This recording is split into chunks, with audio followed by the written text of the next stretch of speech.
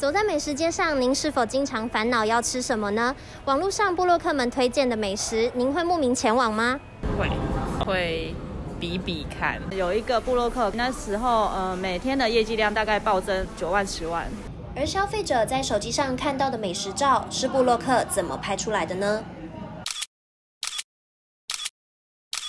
一张张新鲜的美食照，让人饥肠辘辘。但您可知道这些美食部落客背后的辛酸吗？成为美食部落客之后，店家一定会很看重你的粉丝人数啊、触及率、曝光程度，这些其实都是不可避免。面对不可控的网络粉丝触及率，不少美食部落客都使出浑身解数。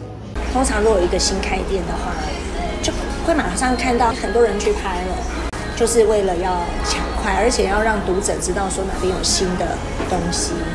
粉丝触及率影响的不光是店家的邀约意愿，更决定了布洛克酬劳的价码。我们大概就是会有一个你流量多少，你大概报多少的一个行规，也有没有钱的互惠到几千上万也会有。品牌必须要有很强烈的你个人的。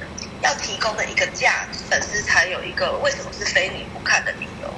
美食布洛克为生活增添新色彩，但民众在点阅这些精心制作的贴文同时，也要仔细评估，才能避免产生落差。